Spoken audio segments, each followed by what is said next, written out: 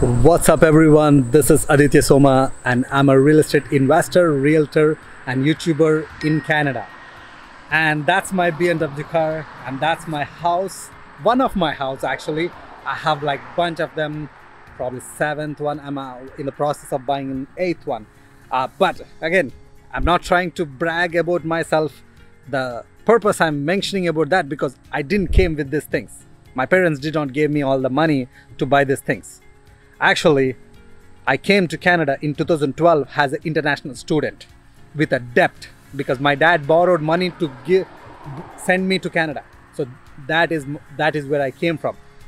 And you know, recent times have been getting a lot of DMs, especially from uh, you know students who are in, in back home thinking of coming to Canada and want to pursue their dreams. You know, they want to know how um, how to go about from there you know they want to know the whole process how to improve their life. So i really thought i give a i gave a really deep thought what can i do for this kids? Um, or you know you might be a, already a student in canada. What can i do for you? That's what i thought. And then finally i think i came up with a solution.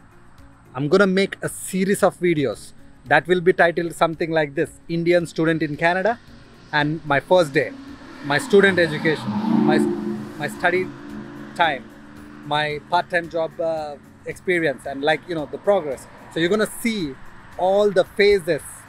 This video series, each series will talk about a, a phase of my life and what I'm doing right now. So stay tuned and if you're excited about this series, let me know in the comments below.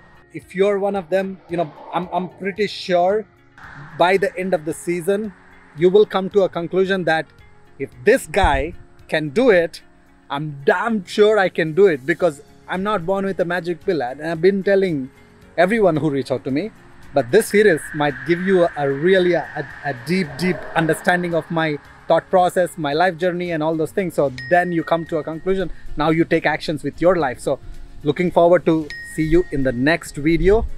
Till then, see you later. Bye.